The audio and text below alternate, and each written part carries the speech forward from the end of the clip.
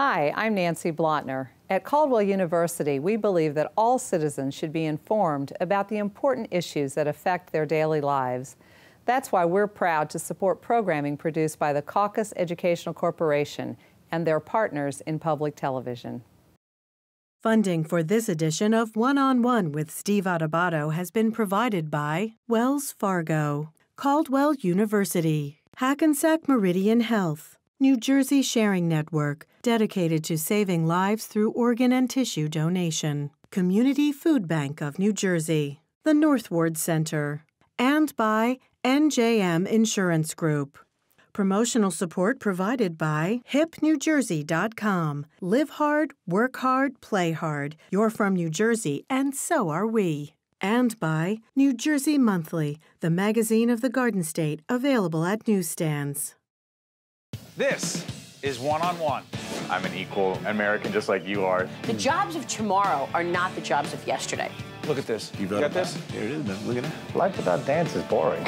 I don't care how good you are or how good you think you are, there is always something to learn. Do you enjoy talking politics? No. People call me because they feel nobody's paying attention. Our culture, I don't think, has ever been tested the way it's being tested right now. Such a good question. High five.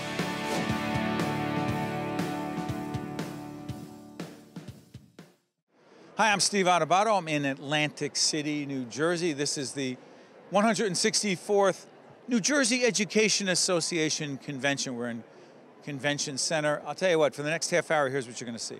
We're speaking to educators, leaders of the NJEA, educational innovators, people who are talking about science, technology, um, the arts, music, language, all different folks who are here at this convention. Happens over two days every year. And people say, what goes on in Atlantic City at the NJEA convention? For the next half hour, you're about to find out. A big part of it is about collaboration, about teachers coming together, sharing ideas, how to be the best classroom teachers they can be. And uh, it's a half an hour you simply can't afford to miss. We are honored to be joined by the president of the NJEA, Marie Blistan. Marie, you taught for a few years? Yeah, well over 30 years. Where? Yep. I taught in Somerdale in Camden County. I taught in Sterling High School, and then I went over to Washington Township in Gloucester County. Why'd you get into teaching? To help students. Uh, when I was in high school, I found that I loved history, social studies, and I loved the Spanish language, neither of which I'm certified in today. Is that right? But yeah, but I loved it, and I started to think about going into teaching because I liked my teachers.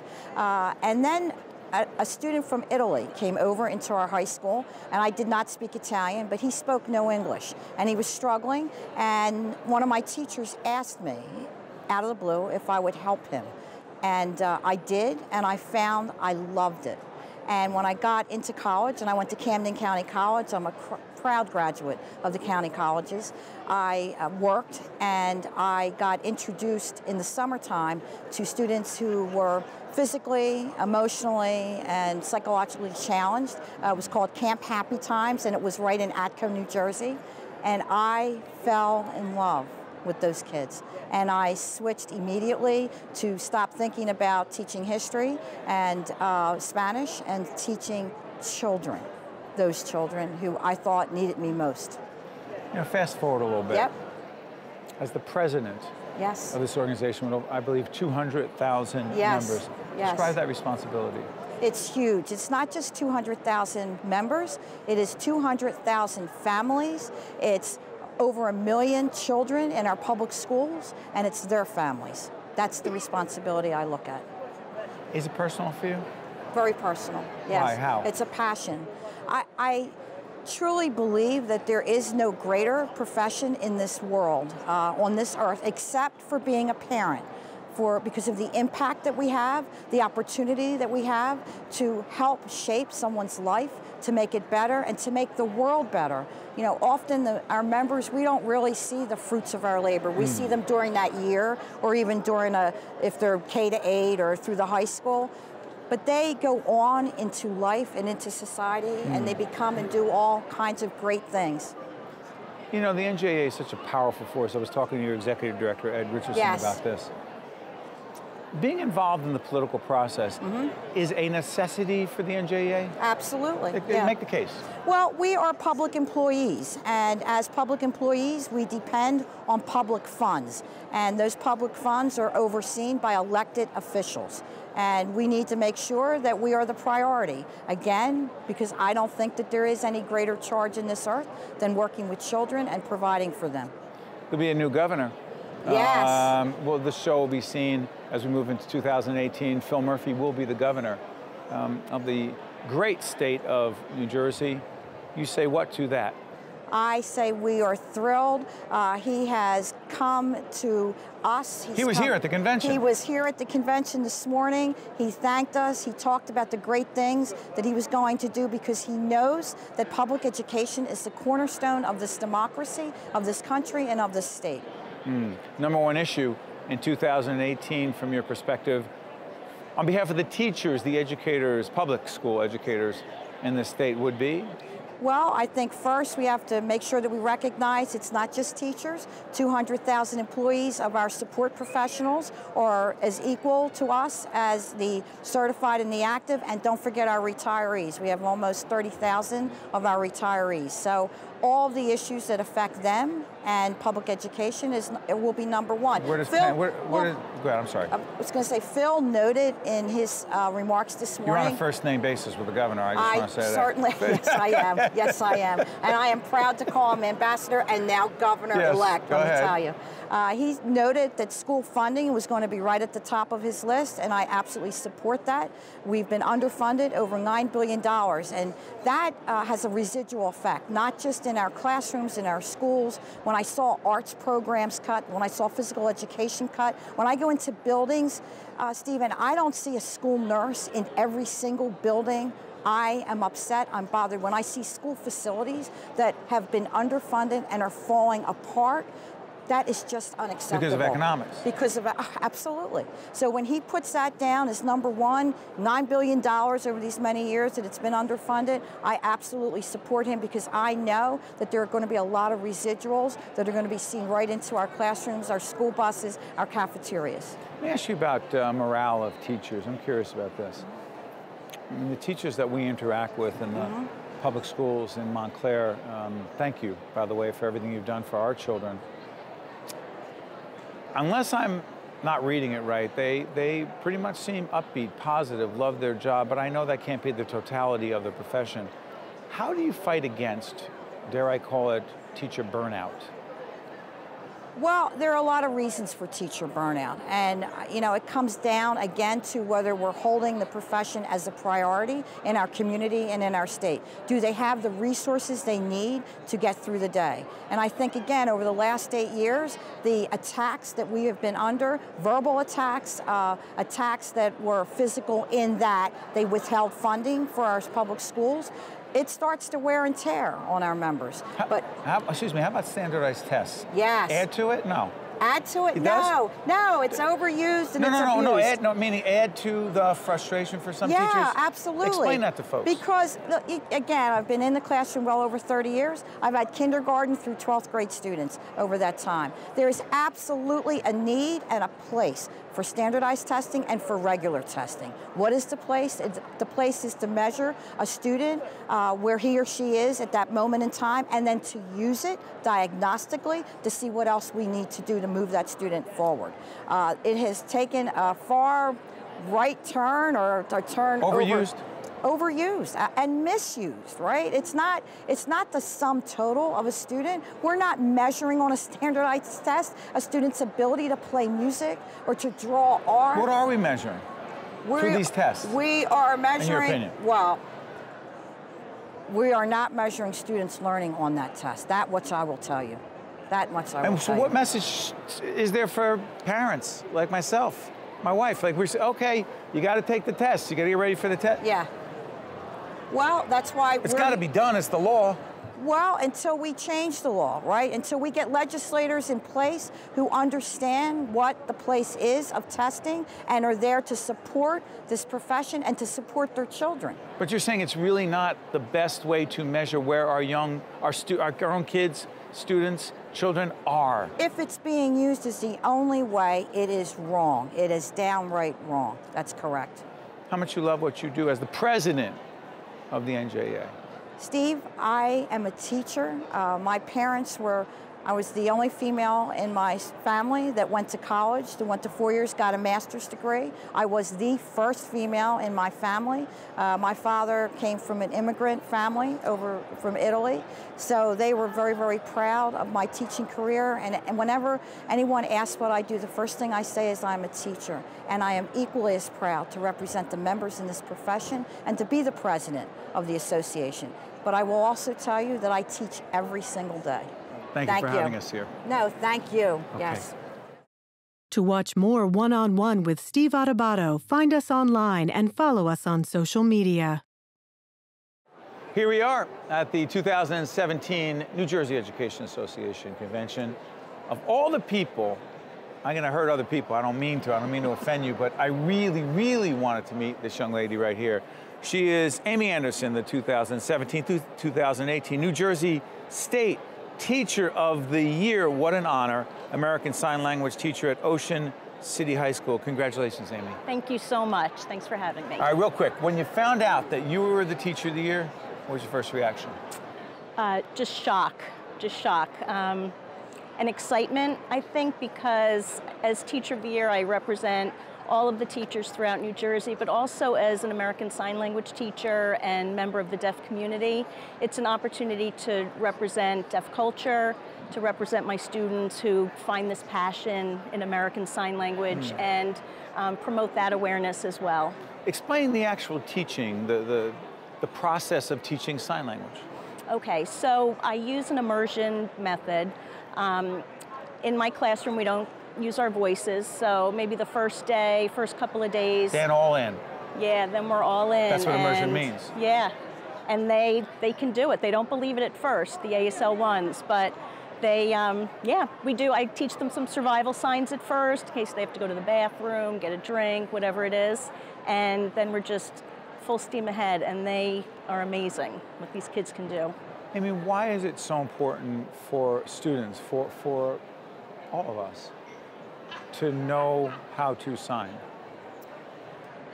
ASL is the third or fourth biggest language or most used language in the United States. We have um, a deaf community that, although if we put all of the deaf people in one place would be small, is really spread out all over the country.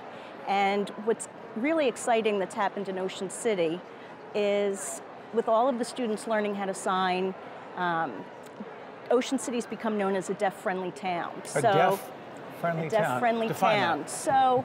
Um, when deaf people come to Ocean City, it's a big tourist attraction. They're walking on the boardwalk, they're shopping on Asbury Avenue. Place. Yeah, there are students who are signing with them.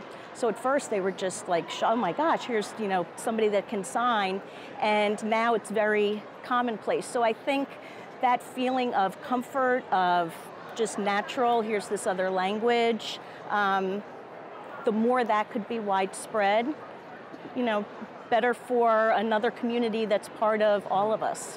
One of the things that struck me as I was looking at the notes, it, said that you really want to take on the perceptions that some have, whether, I don't know, I don't want to use the word prejudice, but the misconceptions of those who are dealing with deafness. Correct. So really the first day of my class, I tackle this. Um, I How? use diverse. Well, I use diversity jelly beans so the flavor does not match the color. And so right away, I want my students to know that culture and language are connected, and um, that we're going to talk about stereotypes. We're going to talk about what is the stereotype? assumptions On the so, part of some, not all. I, I, hate when people say stereotypes in the sense that everyone looks at it that way. That's not true. Right. Many, some do. Go ahead. Um, so what I will ask the groups of students to do is in a, you know, have a conversation. Um, are deaf people a disabled group or are they a cultural group? And nine times out of 10, most of the students, unless they have a sibling who took my class and know what I want them to say, will say it's a disabled group. And then I tell them by December, when you're taking midterms, you're going to be able to tell me why, all of the reasons why the deaf community is a culture with a shared language, a shared history, arts and literature, poetry, theater, um, and just to shift the perception of here's this group that I thought was disabled or lesser than, and now looking at the richness of how it can enrich my life, and then I want them to turn that to themselves, where often they're feeling less than those around them. It's not a disability, is it? No, it, it really is Where not. the heck did we get that? Well, anybody who's different, I think, um, or a smaller minority culture within the majority culture. The majority culture always thinks that the minority culture wants to be like them Yeah. and wants to get closer to that idea of normal. But um, my deaf friends, if you told them, I'll, I can give you a pill and tomorrow morning you're going to be hearing, they would not want to do it. They would not want to be hearing because that's not part of who they are. Just like um, hearing people would not want to be deaf tomorrow. Then I wouldn't be Amy Andersen.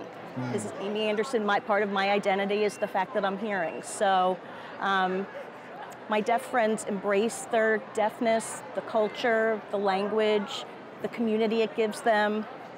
Um, and that's when my students can understand that, that's when they fall in love with ASL. Speaking of falling in love, how much do you love what you do every day? I love it. I tell my students if I won the lottery tomorrow, you'd still be stuck with me. I'm still coming Really? in every day. Oh, I it's it's part of me. It's You're part of my says, identity. you're not gonna say, I'm done, I got the cash, I'm out. No, then I wouldn't be me anymore. It wouldn't be me. And the moment I remember, um, it was during my internship at the Maryland School for the Deaf, and I had a third grade class and was teaching, and all of a sudden I just stopped and thought, I get to do this for the rest of my life. Wow. And I do. I do. Final question.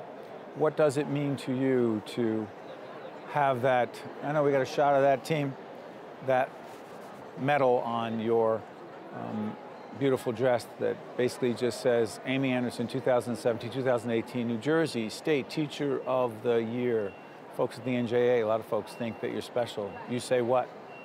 I say I represent all of the special teachers throughout New Jersey. We are always one, two, or three in the nation in education. We have teachers all across the state who feel as I do, who would go into work every single day regardless of um, other opportunities. They love their students, they give all of themselves. And so to be able to represent that, what an honor and what a gift.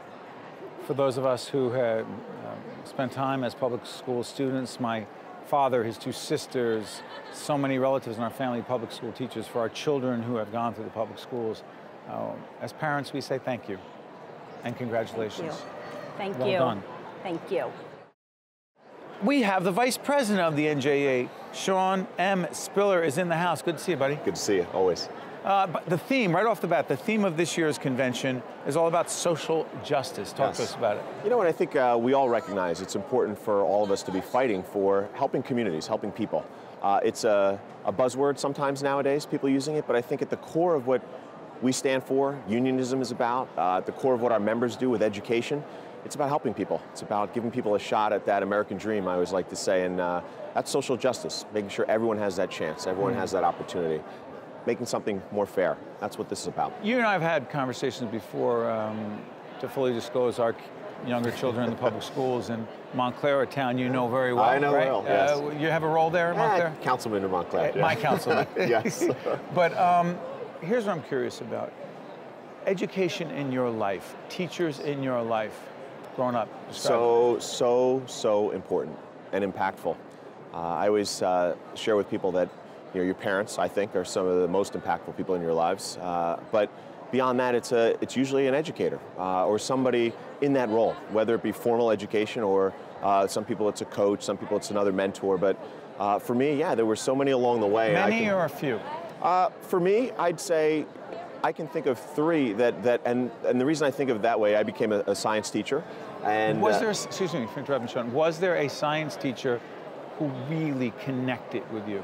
And that's why I came up with that number because as I thought back to it, they were all science teachers. So I think absolutely, you know, that, that that's grades? absolutely the case. Uh, high school, uh, college, and before that was, I guess, also high school, right as I was going in. Really? So yeah, and, and it was, it was something where I always looked to them as, as an inspiration. I always, you know, just loved being in their classes, and you know, when it was even in college, just loved to, you know, have a relationship with them as much as I could. You know, it's your formative years. Uh, but for me, it really made a lot, a lot of difference. So yeah.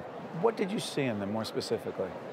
I saw them uh, truly. Uh, hard to describe it now because uh, you you're looking back on it and you know they were making a difference. So it's easy for me now to say I saw them making a difference, and, and but I really understood what they meant to me. You know, I, I didn't really know uh, more broadly, but but for me, I just felt that they they they knew how important I was. Uh, they respected me and, and, wanted me to learn and were excited when I understood something. And for me, uh, it just felt good as a kid. Mm. That's what I knew and understood. But, but I think that lasting impression, as I look back now, I realize it was just making a difference.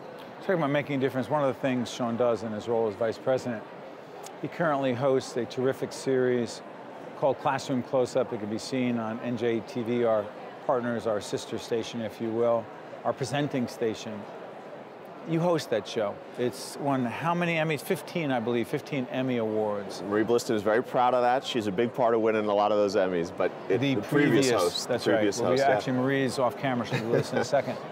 What's it like for you to host Classroom Close-Up? By the way, check it out so you can see some back editions of it. Go ahead. It has been awesome. Awesome. I have to tell you, I, I knew it would be exciting, and I had an opportunity to see Marie at some of the different things that she had done along the way, but for me, to kind of get out there and see these things that the kids Explain are doing. Explain to folks, I'm sorry for interrupting, explain to folks what the premise of Classroom Close-Up is. Classroom Close-Up goes throughout the state and really just highlighting some of the wonderful things that our kids are doing, our educators are doing, our schools are doing, and you travel the whole state. I have the opportunity now as, as we film the show to just see what's happening, you know, from north to south, east to west, things that I never knew and, and some things that I never experienced when I went to school, but I, I, I, look at it and say, wow, these are, this is phenomenal, and the kids are loving it. Uh, 2018, New Jersey, there is a new governor. Yes, there is. There is a reconstituted, let's say, state legislative leadership on some, one half of the House, uh, two houses, if you will. Number one agenda item you say on behalf of the teachers in this state is? Well, I think on behalf of all of us as educators, we want to make sure that our schools get the support that we need. Uh, I think every educator will tell you yes, it's about making sure we've got the proper funding uh, in a lot of our districts that have been underfunded for so many years. We need the resources to connect with every kid, to give every kid that opportunity, that social justice that we're talking about. We also know that it means when you make a commitment to individuals, whether it be pensions or all these other pieces, you have to honor those. That's things that we teach kids at a very early age. And we also know at the end of it, you can't tell somebody this is the most important profession in the world mm-hmm. and we're going to pay you less every year to do it. We've got to solve that problem as well for the sake of our profession. One to 10, how much you love what you do as an educator? 11. No doubt? No doubt. No doubt. To watch more one on one with Steve Adubato, find us online and follow us on social media. This gentleman is changing a lot here at the convention. He's Rich Kiker, founder and CEO of Kiker Learning. Rich, you're talking about Google down here because? I am, Steve. Thank you. Uh, you know, we're doing a lot of work. I had the, the benefit to work with about 150 educators here, uh, a special event, helping those 150 New Jersey educators get Google certified. What does that mean, Google certified? You know, it, it has a lot of value in education right now. Teachers, of course, can use it for practical reasons. They can use it as evidence of their professional development for their, for their evaluations. But what we're really seeing here is just uh, hunger, uh, a desire by these educators to connect their kids with the latest technologies and give them these skills that are meaningful for what they're going to be doing after they leave their K-12 institutions. Give us, give us an example of how it would actually work in the classroom. For example, Google has recently released, in, within the last couple years, something called Google Classroom. What is it? Google Classroom. Google Classroom. It's a product that works in the G Suite for Education platform. It is a product that allows teachers to quickly deliver information to students, quickly collaborate with students, accept projects and assignments in a much quicker fashion than they were able to do in the past, and allows them to kind of deliver rich media and new content through this kind of closed platform that protects kids within, within Google Classroom. So a teacher can move from the traditional instruction of, um, you know, this is what we're going to do today, guys, to, okay, here's what we're going to do today. Here is a resource for you that includes a video, that includes an animation or a simulation. It's all curated and available to this class within Google Classroom, and it frees that teacher up to be kind of the master of the space to move around, connect with kids, and have a more dynamic, interactive, and inviting classroom working with those kids one-on-one. What kind of reaction you get from the, from the teachers? Thanks and, and happiness, uh, when maybe we should be giving it to them. You know what? Teachers will be the first one, as a former teacher, teachers will be the first one to tell you that they are the most difficult audience because they're critical of what they're seeing, right? Are they really tough? They are, they are tough until you give them something valuable and then you've made a friend for life. You actually refer to this as the whole Google thing we're talking about as some sort of industrial, the next industrial revolution. What do you mean by that? You know, it, it's sometimes hard, hard to explain, but you think about the first industrial revolution, education became what it is now to prepare students for the workforce that the industrial revolution gave us. Now with the information age and access to information and new industries spurring from the internet at all times, the skills have changed. We're focused on more of those critical thinking, those collaboration, the ability for kids to have growth mindsets and think on their feet. So schools have to shift. Schools and teachers are now focused on how do we give them those skills to thrive in this modern economy, in this modern society? How do they serve and solve the problems that are facing them with more relative skill sets? Mm. So because the world's shifting so quickly, our classrooms are shifting quickly. That's a major disruption. It's hard for our schools to adapt that fast. But again, as evidenced here, these teachers understand that. They're coming to these events, they're doing the hard work, and they're doing amazing things for these kids to give them these skills. One on One with Steve Adubato has been a production of the Caucus Educational Corporation, celebrating over 25 years of broadcast excellence. Funding for this edition of One on One with Steve Adubato has been provided by Wells Fargo, Caldwell University, Hackensack Meridian Health, New Jersey Sharing Network, Community Food Bank of New Jersey, the Northward Center, and by NJM Insurance Group. Transportation provided by Airbrook Limousine, serving the metropolitan New York, New Jersey area.